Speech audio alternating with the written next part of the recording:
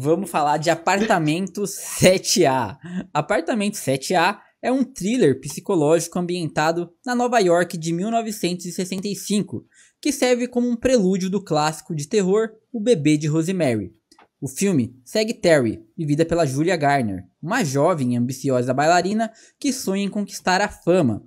No entanto, após sofrer uma lesão devastadora, ela é acolhida por um casal mais velho e enigmático, no luxuoso edifício Branford, com a promessa de uma segunda chance na carreira oferecida por um influente produtor da Broadway. Terry acredita que seus sonhos estão prestes a se realizar, mas Após uma noite misteriosa que ela não consegue lembrar completamente, Terry começa a perceber que algo sinistro está à espreita, não apenas no apartamento 7A, mas em todo o prédio. À medida que eventos perturbadores se desenrolam, ela se vê confrontada com as verdadeiras, os verdadeiros custos de sua ambição e com as forças obscuras que habitam o edifício. O filme foi lançado diretamente no, no Paramount Plus, custou pouco mais de 25 milhões tem sido sucesso de público, aprovado por mais de 70%, mas um fracasso de crítica, com menos de 40% de aprovação dos especialistas. E aí, gente, primeiras impressões aí. Era um filme necessário? Não era necessário? O que, que vocês acharam aí à primeira vista? Não, se necessário é uma palavra forte, né? Acho que a última coisa que, que o apartamento 7A é necessário, né? Não, pera, pera a premissa é bom. Sim. a premissa é legal, cara. Eu, eu acho interessante você contar a história da Terry, né, por exemplo, visto que, que o, o, filme, quando, quando ele, o começo dele tem algumas pontas soltas, assim, muito interessantes, sabe? O, o grande problema é a falta de ligação que o filme, que o Apartamento 7A tem com o filme original, sabe? Então, então aí temos, temos o, o problema do filme, né? Porque até então, quando eu comecei a assistir, porra, eu tava achando massa o filme, cara. Eu achei um, um filme bacana ali até a hora que da concepção do demônio. Aí, aí eu já comecei a achar meio esquisito. Porque, querendo ou não, ele não se encaixa com o original, né, cara? Não. Esteticamente falando, é, eles recriaram ali todo, todo o apartamento, recriaram todo o edifício. Pô, isso foi massa pra caralho, mas o filme não dialoga com, com o jeito de filmar mesmo, né? Com com a fotografia do filme. A fotografia é completamente outra, sabe? É. Acho que o. Acho que o Technicolor faz muita diferença, né, cara? Eu achei um filme meio escuro, meio cinza demais, né? Acho, acho que não, não linka com aquilo que o Polanski queria. Eu esqueci o nome da diretora. A diretora é até bacana, sabe? Eu esqueci o nome dela, mas é, ela fez um filme bacana. James. É, então, a Natalie James. Cara, é, é desanimador ver como como ela, ela não linkou com o filme original. Acho que ela teve uma grande oportunidade, porque é, tem que ter uma coragem do caralho para você mexer com um clássico desse. Só que ela jogou essa oportunidade fora, cara. Desperdiçou, bicho. Eu, eu gosto do filme, mas ele poderia ser muito mais. Ele poderia ser um Doutor Sono, assim, sabe? É... Ele, ele perdeu a oportunidade de ser o Doutor Sono do, do, do bebê de Rosemary, sabe? Eu acho que ele me chateia um pouco. É, porque assim, a, a gente sabe qual é o final da Terry né, cara? A gente, tipo, vê isso no, no bebê de Rosemary, né? Tipo, nos primeiros minutos do filme, tipo, você tem a morte dela, né? Então, é, isso meio que já, já ia tirar um peso do filme na real, né? Tipo, pô, você sabe qual que, o que aconteceu com esse personagem, então faz não importar com ela, né, cara? E aí você tem, tipo, ele, ele flerta muito pouquinho, né, cara, com o ocultismo, né, cara, com aquela, a questão mesmo, né, daquela família escrota, né, aqueles escrotos lá que que comeram ela mesmo, né? Tipo, que, que embucharam ela, tipo, que é o demônio, né? No caso. E assim, isso meio que fica passando, sabe? E tem muita referência no filme que meio que já tem no filme antigo e e isso, para mim, tira um pouco da força mesmo, né, cara? É, ele se propõe a trazer coisas novas, mas no fim das contas ele não traz e traz referências, né?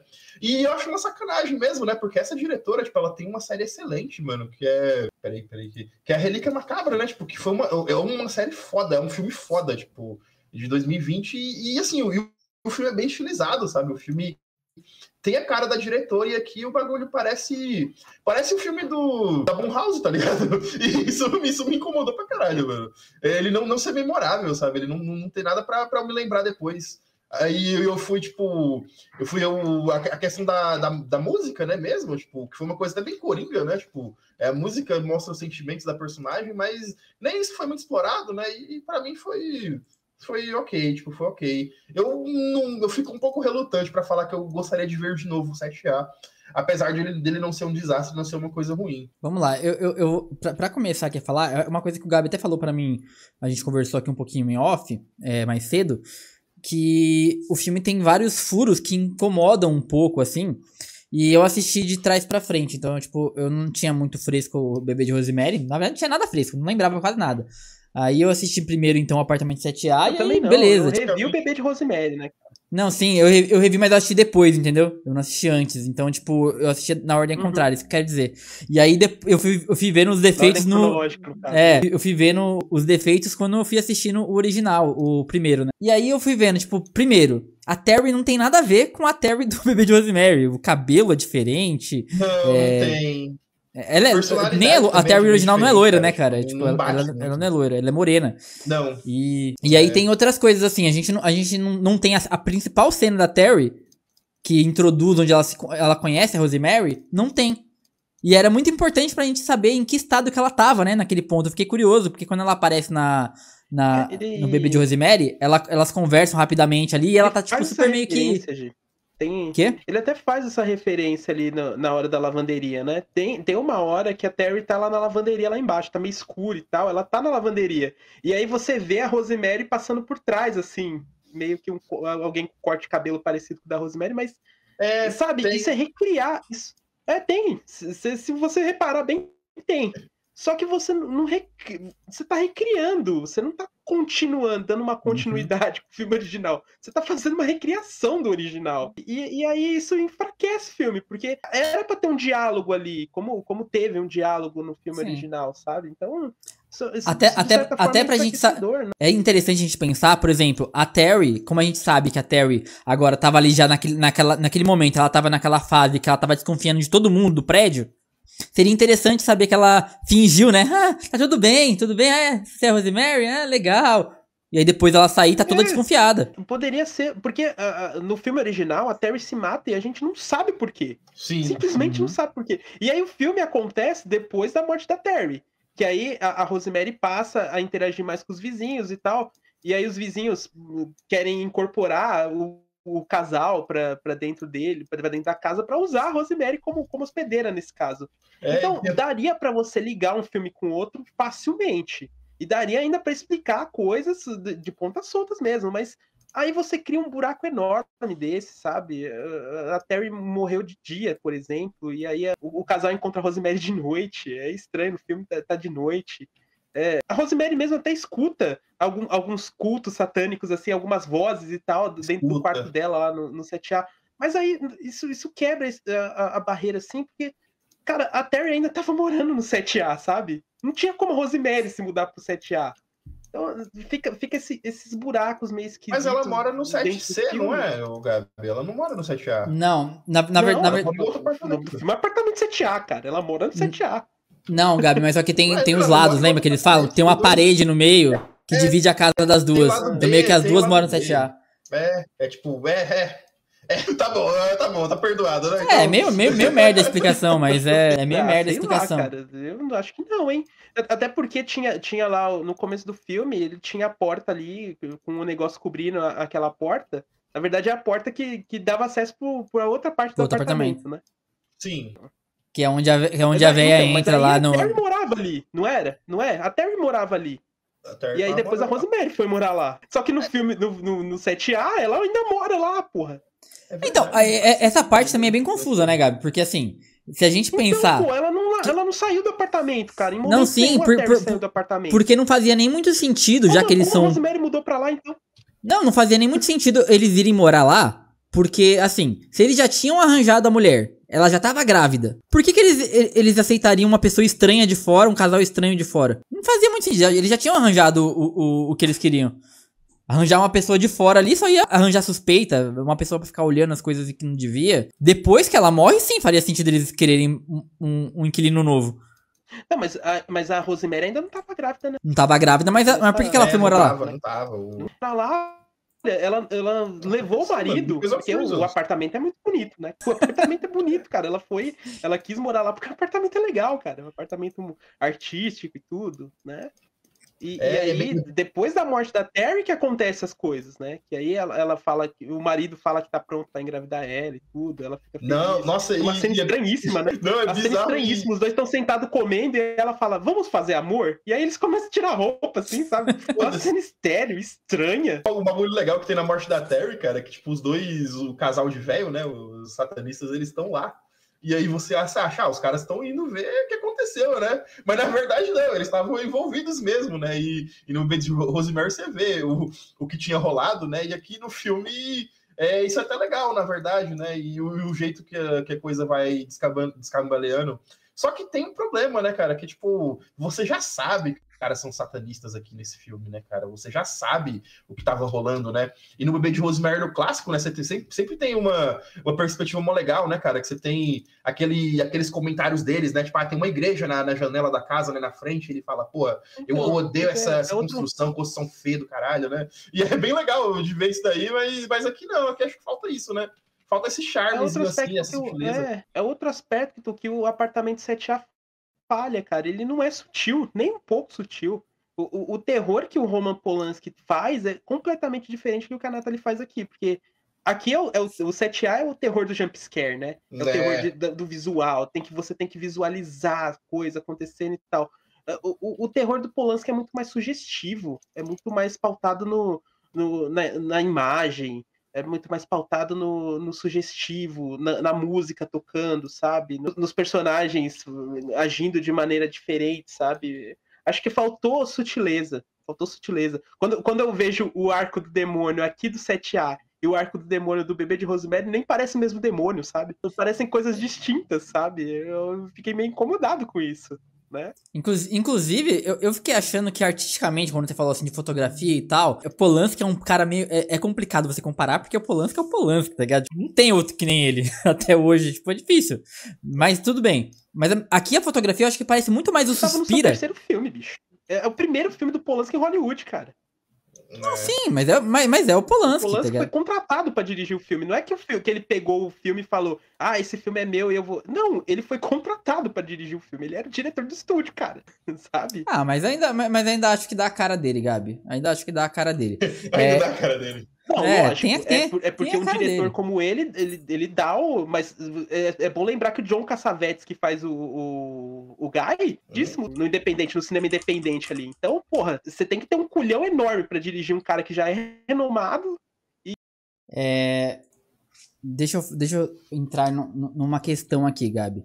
A gente tem aí, então, alguns personagens que são repetidos, né? Que são que estavam lá no Bebê de Rosemary e eles voltam aqui. Os velhos. Temos também toda, toda a parte ali de, do prédio também. Uma coisa que, me, que eu fiquei um pouco incomodado, o, o porteiro lá, o cara que aperta o elevador, ele é um jovem, né? É, ambos são negros, nos dois, só que no, no original ele é um cara, um, um molequinho mesmo, um jovem. E aqui eles colocam um cara mais velho já. Então é uma coisa que eu fiquei pensando. Você não tem a impressão de que, por ser um prelúdio, eles, ela não tinha que ter prestado mais atenção nisso? Tipo, quem eram os atores, faixa etária de idade, é, perfil de, de, de personagem mesmo. E eles meio que parece que cagaram Ah, pra cara, isso. Eu não sei, eu, eu acho que isso não me incomoda tanto. Você vê, a velhinha no, no, no original, ela era uma coisa e aqui ela é meio diferente, né, cara? É, É. A imagem dela é meio diferente. Mas os trejeitos que a atriz do, do 7A traz é os mesmos, né, cara? Então ela, ela consegue imitar bem a voz, ela consegue imitar bem o sotaque, ela consegue ser incômoda tanto quanto a velhinha do original. Então, são coisas que eu deixo batido, sabe? São coisas que eu passo batido. O porteiro eu passo batido, porque isso é- no, no fim é parecido. No fim é parecido. no- Você não vai conseguir um, um negócio 100% igual aquilo ali É, não vai ser pra os atores originais, né, cara? Então, e- e isso pra mim passa batido. O que, o que não passa batido são os buracos, né? São os buracos, são é o- a falta de link com o filme original. Aí, aí não tem como, né? Aí não, dá- aí não dá. E, Mateteu, o que você achou da Julia Garner, cara? A nossa surfista prateada aí, como protagonista. Ela que é premiada pra caramba, né? É, Ganhou prêmio por, por Ozark e os caras é quatro aí. O Matheus saiu pra não falar, cara. O Matheus caiu só pra não ter que falar, gente. É. Eu não tô Então te ouvindo, fala. cara. Tá me ouvindo, não? Não tô conseguindo te ouvir. Ah, peraí, peraí, vamos resolver. Me ouvindo agora, Gabi? Agora sim. Gente, problemas técnicos. Vou colocar o Matheus de volta aqui, que o Matheus caiu. Matheus, Eu não tinha caído. Eu, eu achei que eu tinha, tinha ficado sem internet, alguma coisa do tipo, porque você tava sem. Eu tava sem Ela chover. tem voz, né? Teteu, então, eu tava, eu tava perguntando da Julia Garner, cara. O que, que você acha da Julia Garner aí? Cara, eu adoro a Julia Garner na real. Tipo, na real, ela, pra mim, salva. Tá salvo o filme, cara. Tipo, ela. Eu, eu gosto da personagem dela, tipo, no geral, né? Apesar de não parecer, mas é, eu gosto da atuação dela, cara. Eu acho ela interessante, né? Quem viu aí é, Ozark, Hotel Royal, é- ela é excelente, na real.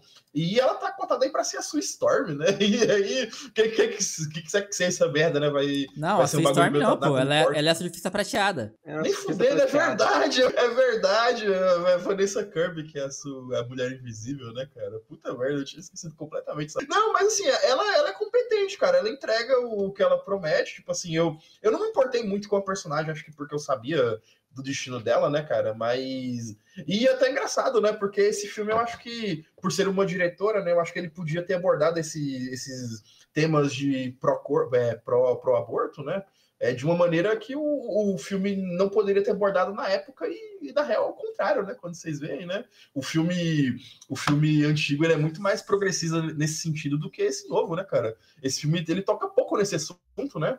E, e meio que passa batido, né, cara? Tipo, de você ter um bicho inseminado dentro de você e, e a sociedade, tipo, não querer que, que você remova essa porra de dentro de você, sabe? E, mas assim, a Julia Garner pra mim tava ótima, cara. Eu, eu mais Julia Garner, sabe? Eu adoro ela. Tipo, e vejo o Ozark que ela tá, tá muito bem no Ozark. Eu, eu Acho que a Julia sabe- Garner. É, também acho que a Julia Garner tá ótima, cara. E, e mais, eu acho que o filme original ele, ele é mais progressista nesse ponto que o aborto, mas na questão do estupro, né? Acho que ele, que ele, ele, ele lidar melhor com, com, com a posição de que o, o marido estuprou ela, mesmo assim, sabe? E, e ela fica triste, chateada com isso, de falar, porra, você podia ter me esperado, a gente podia ter feito de manhã, sabe? E, e ela sofreu um estupro, sabe? E aqui, aqui no, no 7A, isso também acontece, mas sabe, passa batido. Passa muito batido, cara. Que ela dormiu, acordou, não lembra muito e tal. Mas no, no original isso é, é bem pungente, né? É bem. É, é bem claro né? que ela lembra que o marido estuprou no- na noite Sim. anterior, sabe? Então, acho que, até, acho que até nisso o filme acerta. E também tem outros pontos, assim. é, não era comum a mulher cortar o cabelo, né? A Mia Farrow apareceu com o cabelo curto no- na metade do filme. E aí as pessoas fica- olharam aquilo estagnadas, assim, até virou moda isso, né? Depois desse É, corte da Mia Farrow, do cabelo mais curto, estilo Joãozinho, assim, a, a galera... A galera virou uma tendência em 68, né, cara? E eu acho que é, que, que é um ponto, assim, sabe? Ela, ela criou uma moda muito foda, assim, de cabelo curto em mulheres. Acho, do- acho do ca- do caralho. assim. Uma coisa que eu gostei bastante nesse filme, Gabi, é a cena, a, a cena final já, é, de como que ela cai, como que ela pula, né? Que é dançando, fazendo o balé ali. Que aí eu até falei, né? Eu acho que a estética tem, tem, me lembra bastante Suspira. ah, o, o Suspira, remake. assim, sim, É. acho que puxou muito, real. E aí, tipo, tem essa cena que ela, tipo, meio que tá enganando ali, eles ali, né? Ela, ela finge que desistiu e tal, ela começa a, a- a enganar eles ali, dançar, fazer o balé dela. E aí ela pula meio que num, num, num, num passo de balé pela janela. É, eu achei interessante ela, ela se matando desse jeito, assim, pra, pra falar a verdade, porque ela meio que se viu, ah, não tem como eu, como eu matar o bebê, porque ela tenta, né? Ela tenta enfiar uma faca no bebê lá, mas a barriga não deixa É. ela fazer nada. E ela meio que se sente impotente, né? E o único jeito que ela arranja de fazer é isso. É esse jeito. Eu achei essa parte, assim, bem interessante. É, não, é, é- é- esse, esse ponto é bem legal, né, Juju? Tipo, ela toma controle da vida dela, né? Tipo, é, é de um jeito merda, mas ela toma, né? Sim, sim. É, é o ápice da- do fim do mundo, mas, mas, mas consegue, né? E aí eu, eu, eu coloco aqui no assunto uma coisa que eu, que eu acho interessante de como que às vezes as pessoas não conseguem atualizar as coisas, né, cara? E aí eu, eu tava até brincando com o Gabi, falei, mano, eu fui procurar o Bebê de Rosemary, acabei parando numa série. Que eu achei que era uma série, mas nem era, é uma minissérie, na verdade, tem três episódios. Que é com a Zoe Saldanha, de 2014. E aí eu fui, fui dar uma olhada pra ver, tipo, o que que tinha. E assim, num geral, cara, é uma atualização bacana, sabe por quê? Porque é, ela, até então, ela tinha o sonho de ser mãe. E aí ela, quando nasce o filho, Gabriel, a Zoe Saldanha percebe que a criança é branca dos olhos claros. E ela começa, tipo, a pirar nisso, tá ligado? Tipo, Essa porra não é meu filho. É, então, tá vendo? Já tá errado. Você mostrou o bebê, cara. Não, não pode. É. Porque o, o, o fato do, do, bebê de Rosemary, o filme tem esse título, só que o bebê não, mostra, não aparece em momento não nenhum, né, aparece. né, cara? Então, a, a, cena, a última cena do filme virou um clássico por causa disso, né? Ela, ela primeiro ela olha pro filho, ela renega, ela fica meio assustada com, com o bebê. E aí todo mundo fala, olha só, tem os olhos do pai, que o pai é o satanás, né, cara? Pois é. E aí, e aí em seguida, e aí em seguida ela, ela começa a fazer um carinho assim, sabe? E aí você vê que a maternidade tá ali. E aí ela começa a gostar do filho, saca? É, é um final ambíguo, estranho, né? É um final esquisito, mas só que fica na cabeça essa, essa última cena, né? Dela assustada e em seguida ela, ela aceitando o filho. Aceita o filho e aí começa aquele, aquela, aquela trilha macabra do filme original, né? Que é aquela canção de ninado, lá, lá, lá, lá, lá. Cara, aquilo ali é meio assustador, bicho. É muito bizarro aquilo ali, né? Então virou clássico por isso.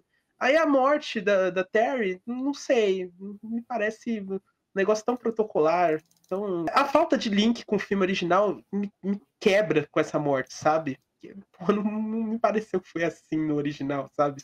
No original não, não teve esse, esse, esse, culto, né? Eles podiam ter metido um, um easter egg de quem era o dono do Fusca. Então, é uma falta de link. É, cara, puta, essa falta de link me quebra com esse final do, do, do 7A, sabe? Não consigo. Eu não consegui curtir o final do filme direito, sabe? Mesmo com a Julia Garner fazendo um, uma atuação é, esplêndida, eu, eu não curti o final do filme. Não deu, não deu para mim. Mano, pior vamos que lá, eles gente. podiam vamos, ter vamos, feito, vamos, então, Jorge, em vez de um prequel, um sequel, cara. Mostrando aí alguém cuidando do bebê, sabe? A babá de Rosemary, tá? Podia ser a babá de Rosemary. Né?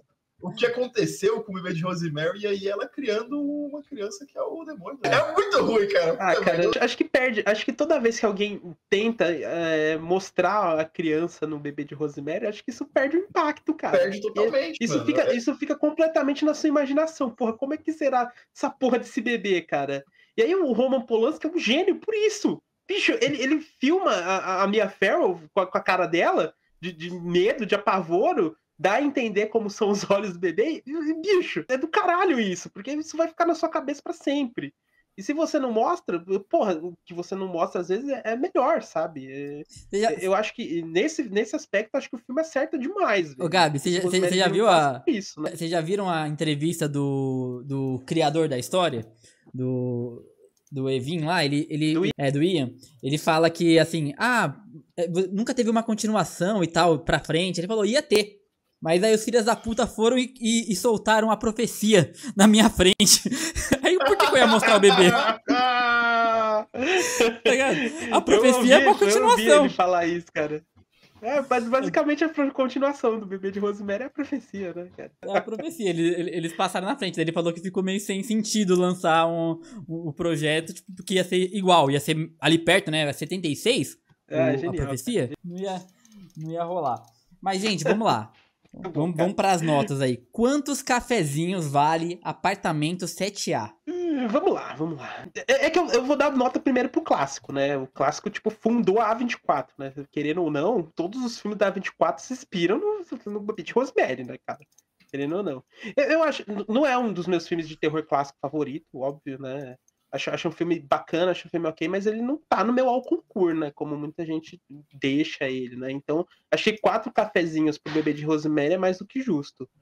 Agora o 7A, cara, eu gostei do, do começo do filme, eu gostei da premissa. Acho, acho que ele, ele encaixa em algumas coisas e outras não. Acho remontar o prédio já é um, um, um grande feito. Putz, cara, a Julia Garner tá bem, a, a, a mulher que faz a, a, velha também tá bem. Putz, eu fico com três cafés, sabe? Três cafés porque não é um desastre absurdo, assim. Acho que ele, ele traz a vontade, só de trazer a vontade de rever o bebê de Rosemary, acho que já vale, assim. Acho que três cafés é mais do que justo. Entendeu? Eu tô com o Gabi, mano. Eu tô com o Gabi. O bebê de Rosemary clássico, ele tem essa questão do inominável, né? Daquele terror tipo, implícito, aquela coisa que você não sabe o que é, que em curto prazo talvez ele não, não seja tão assustador, mas a longo prazo te deixa com um negócio ruim na, na cabeça, sabe? Eu, cinco cafezinhos pro bebê de Rosemary Class, cara. O, Roman, o Polanski é um filho da puta, né? Um arrombado, um cuzão, um desgraçado. É sempre bom lembrar isso. É, não, é sempre bom lembrar que o Polanski é um arrombado, né? Sempre bom lembrar isso, né? Mas assim, até pela, pelas questões aí, Sharon Tate e tal, acho que o, o bebê de Rosemary, ele vale uns cinco cafezinhos folgado aí pra mim. E o apartamento 7A, cara, eu vou te falar, eu, eu ia dar um dois, mas porque eu não me vejo reassistindo esse filme, cara. Ele, para mim, é um, ele é um dois, ele é um mil. Eu não. não. Acho que a única situação mesmo que daria para assistir era se você tivesse muito na pira de ver o bebê de Rosemary, né, cara? É dois cafezinhos e, assim, é, props pra Julia Garner, que, que tentou levar o filme nas costas. Infelizmente não conseguiu, mas é, eu acho que ela merece sempre todo o destaque aí, porque ela fez o melhor que tinha com, com um pouco, tá ligado? Uma curiosidade engraçada sobre o bebê de Rosemary e o Polanski é que o Polanski só foi dirigir um filme de terror muito depois. O Polanski tem dois filmes de terror na carreira, que é o Bebê de Rosemary e o último portal ali, acho que 98, com o Johnny Depp. Johnny Depp. Não sei se vocês lembram desse aí. Sim. É, pô, esse, esse, filme é legal, cara. Filme bom.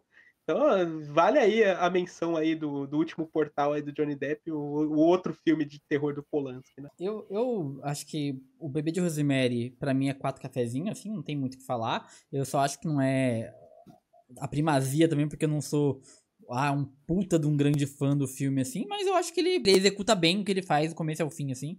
Não tem é. nenhum grande problema que eu vejo, mas também não tem nada de uau, que filme, tá ligado? Não é esse, filme, não é esse tipo de filme. E o Apartamento 7A, eu concordo com, com boa parte do que vocês disseram, assim, não com, tanto com, com o Matheus, eu não, não achei tudo tão ruim.